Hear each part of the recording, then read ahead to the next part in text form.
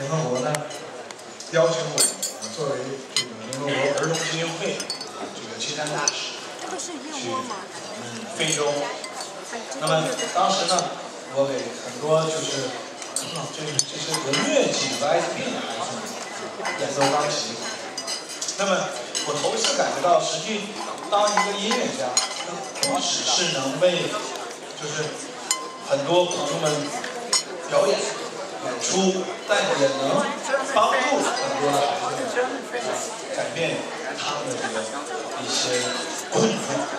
所以我就感感觉，我觉得应该去做一些很重要的事情。这些事情呢，是要比弹钢琴、弹音乐会还要重要的事情，那就是能参与进这个公益中。呃，那这样，我们先通过短片来看看今年的改变好不好？来，我们来看看这个短片。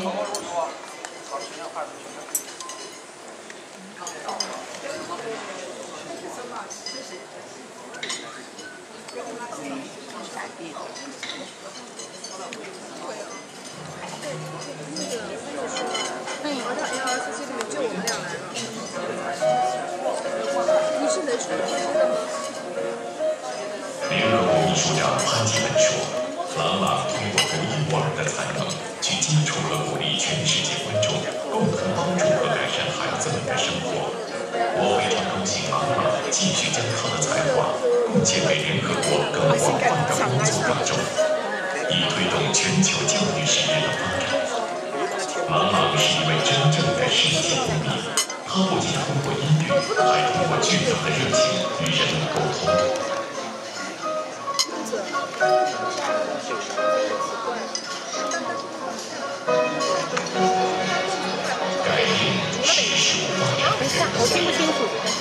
次的决定，每一个新东西，都是对自我的挑战和改变。朗朗在不到二十岁的时候就说过，希望通过他的音乐，能使世界上更多的人，尤其是青少年，能够热爱古典音乐。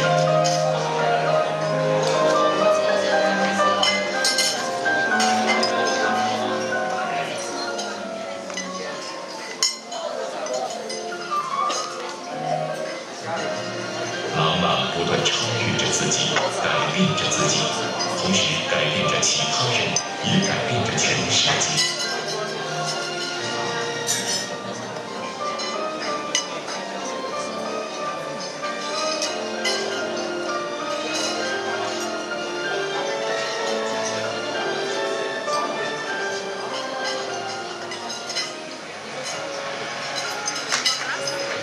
One more uh, one kiss. One kiss, kiss. 也带来惊喜和震撼。二零一四年，作为格莱美中国文化大使，朗朗用跨界的方式